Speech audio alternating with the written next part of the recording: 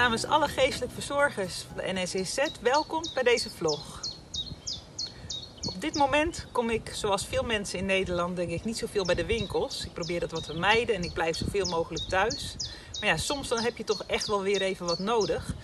Dus zo had ik uh, de drogist gebeld waar ik al heel lang kom. En uh, daar heb ik gevraagd of ze wat wilde klaarzetten voor me en al in de tas doen. Nou, dan hoefde ik alleen maar top te halen en even te pinnen.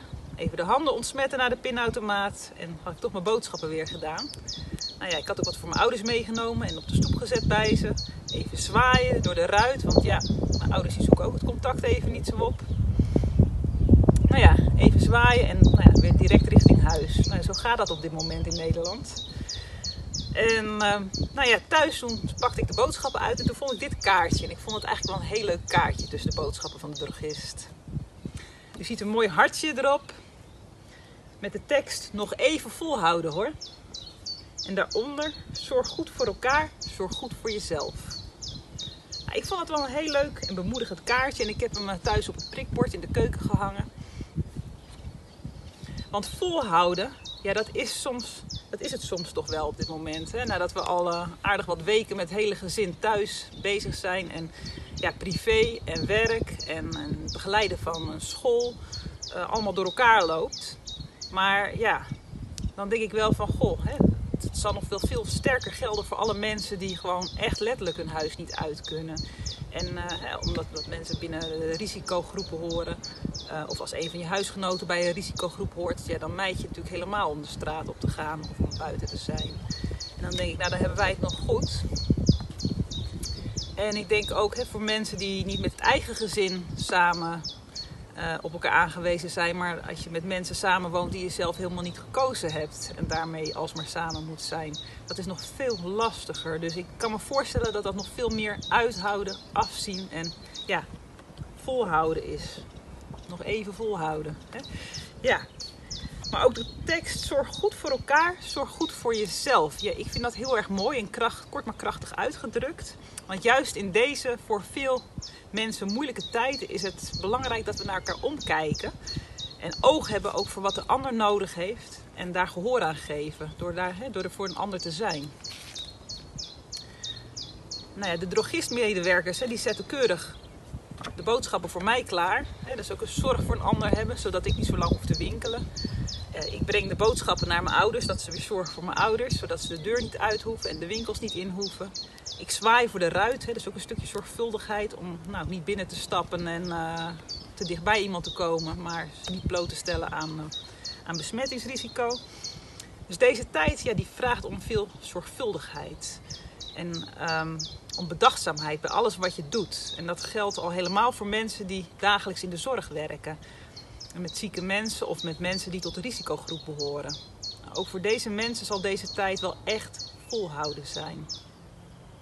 Zorg goed voor elkaar, zorg goed voor jezelf. Nou, deze twee zijn onlosmakelijk met elkaar verbonden. Om er voor een ander te kunnen zijn, moet je ook voor jezelf zorgen. Is het van belang om je eerst jezelf ook op te laden. Aan de andere kant kan het zorgen voor een ander jezelf ook wel weer een goed gevoel geven en een vorm van zingeving zijn. Dus het gaat ook wel weer twee kanten op. Zorg verlenen kun je zien als ook een soort geven. En om te kunnen blijven geven is het belangrijk dat je eigen batterij, als het ware, opgeladen blijft of weer opgeladen wordt. En dat is heel vaak niet een van de sterkste punten voor mensen die, die van nature heel zorgzaam zijn naar anderen. Veel mensen die als beroep kiezen om, om in de zorg te gaan werken, die zijn heel zorgzaam al van zichzelf en, en, en, heel erg met anderen bezig. Maar dat je ook echt aandacht voor jezelf moet hebben, dat je opgeladen blijft, dat, dat is soms een wat moeilijker punt. Nou, mijn collega Violet heeft al een vlog gemaakt over zelfliefde. En ja, het is natuurlijk heel belangrijk dat je jezelf lief hebt. En dat is natuurlijk een streven hè, wat, wat, wat, heel fijn is als, als, als je dat lukt.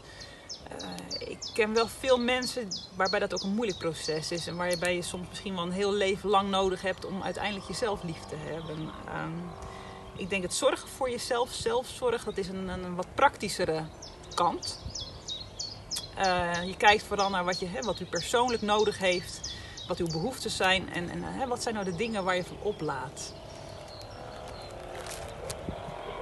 Al tij- tijdens mijn studie heb ik een onderzoek, een kleinschalig onderzoek gedaan naar de zelfzorg van mensen volgens de zelfconfrontatiemethode van Hermans. En het onderzoek gebeurde aan de hand van een aantal ontlokkers.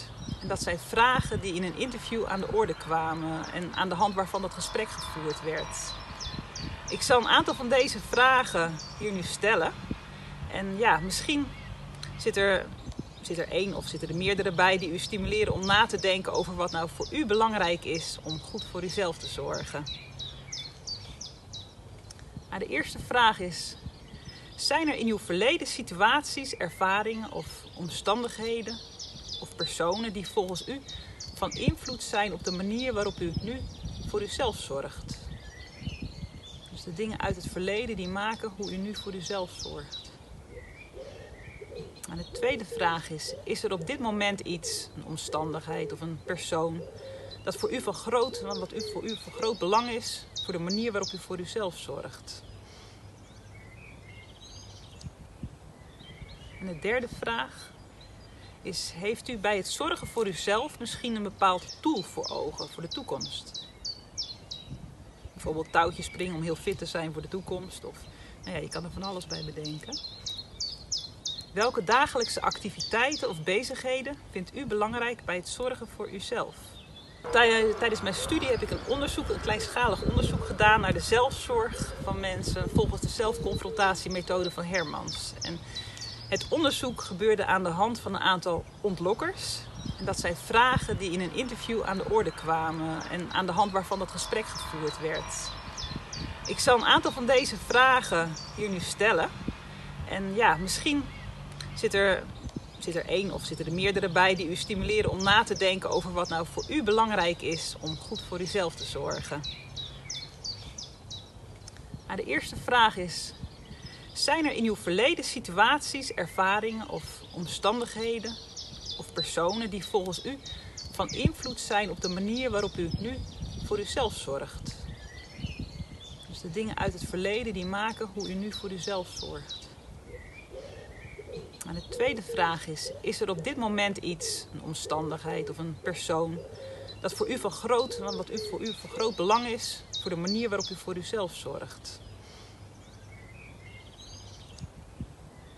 En de derde vraag is: heeft u bij het zorgen voor uzelf misschien een bepaald doel voor ogen voor de toekomst?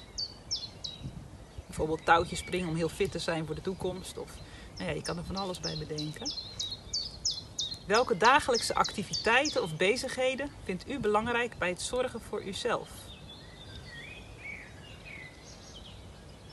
Zijn er ook bepaalde dingen, gewoonten, tradities of verhalen die u aanzetten tot het zorgen voor uzelf?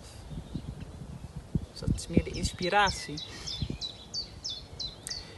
Is er iets met betrekking tot, tot het zorgen voor uzelf dat u in gedachten bezighoudt? Dus ja, waar, Waar denkt u aan? Wat houdt u bezig? En zijn er ook momenten dat u ervaart dat u in de zorg voor uzelf tekortschiet? Dat u denkt, hé, hey, hier heb ik niet genoeg voor mij, goed genoeg voor mezelf gezorgd. Of hier ben ik over grenzen gegaan die ik niet wilde. En zijn er ook momenten dat u het gevoel heeft van, hé, hey, nou voel ik dat de zorg voor mijzelf goed is. Wat heb ik hierin goed voor mijzelf gezorgd? En een andere vraag waar je over na zou kunnen denken is: vindt u dat er een aspect van de maatschappij is dat voor u, voor u de zorg van uzelf van invloed is? En als laatste vraag zou ik willen stellen: hoe zou u nou ideaal gezien, als alles mogelijk zou zijn, hoe zou u nou graag ideaal gezien voor uzelf willen zorgen? Nou, dit zijn vast genoeg vragen om in ieder geval even stil te staan bij wat u nu nodig heeft aan zelfzorg. En dat maakt dan niet uit of je in de zorg werkt of dat je, dat je uh, verzorgd wordt. Je cliënt bent juist in de zorginstelling. Ik denk dat we allemaal heel hard zelfzorg nodig hebben. En uh, nou, misschien kunt u deze vragen meenemen vandaag om te voelen en te overdenken of om het met elkaar over te hebben. Je kunt ook deze video dan weer terugspoelen en punt voor punt hem even stilzetten. Met een blaadje papier ernaast en een pen. En nou, per vraag nadenken van hé, hey, wat opschrijven van hey, wat, wat, wat, wat, vind ik hier nou van? Of hoe zit dit nou bij mij? Dan heb je ja, eigenlijk een soort zelfonderzoek wat je met jezelf doet. En, nou, misschien komen daar hele mooie dingen uit waarvan je denkt van... hé, hey, maar dit heb ik nodig en uh, dit ga ik doen zo. Nou, ik wil graag weer afsluiten deze vlog met de kaart van de drogisterij. Ik vond hem heel mooi en inspirerend. Nog even volhouden. Hoor, nog even volhouden hoor. Zorg goed voor elkaar. Zorg goed voor jezelf.